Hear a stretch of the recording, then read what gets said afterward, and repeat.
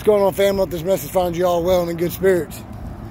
This video here, I'm just outside taking a walk. You know, sometimes we get so wrapped up in our own minds, our own anxiety, depression, whatever it may be, we don't make time for ourselves. We make excuses. And those excuses get worse and worse to where eventually we're just not doing anything about it. You know, I come to find out that you just got to push. You got to keep pushing yourself because nobody else is going to help you.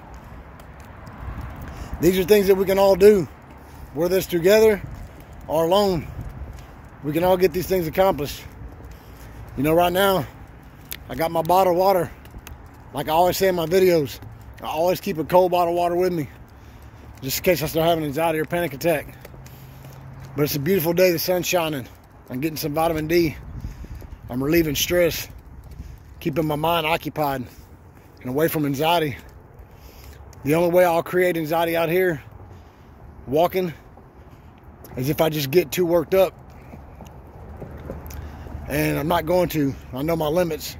I feel like I'm getting worked up, I'll go ahead and walk on home. So that's what I'm doing. Out here pushing through it, guys. Making myself do it. You know, we don't like to do these things. We want to do things that's, that's comfortable. We want to sit inside and eat food. Not come outside and move around. Not get no exercise in. These are all things that make us worse. These are things you want to avoid. So I come out here every day. I move around. Walk my dog. She's right here beside me. See if I can flip the screen around. There she goes. That's my little partner in crime right there. She helps me get through all this, guys. Literally.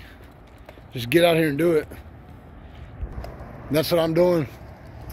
And everyone here that watches the channel can do it too. Hopefully you guys are already doing this.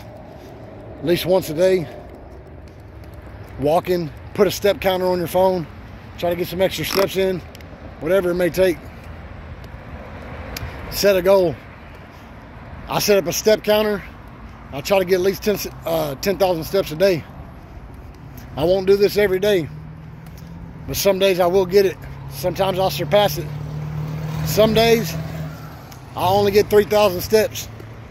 Maybe a bad day, but the next day you can guarantee I'm gonna get out here and try to put more steps in than the next time.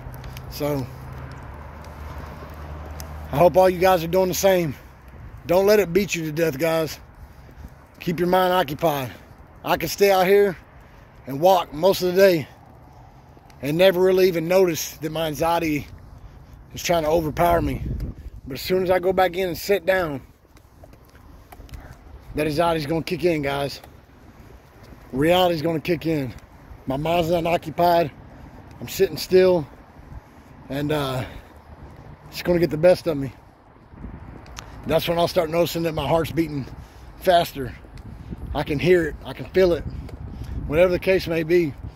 But as long as I'm moving at a steady speed, not nothing crazy, not nothing real fast, just moving, steady speed, I never really notice it as much. But if I take off running or something, I'm probably to be in trouble right there. It's to create more anxiety. So steady pace, get your water, whatever it is that makes you comfortable.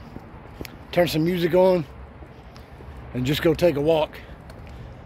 Get outside, get that beautiful sunlight, and yeah, just get it.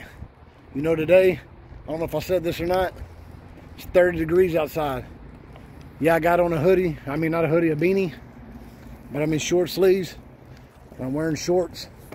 I don't know if I said that earlier or not, but it's cold out here. But that's okay. I'm moving. My blood's flowing.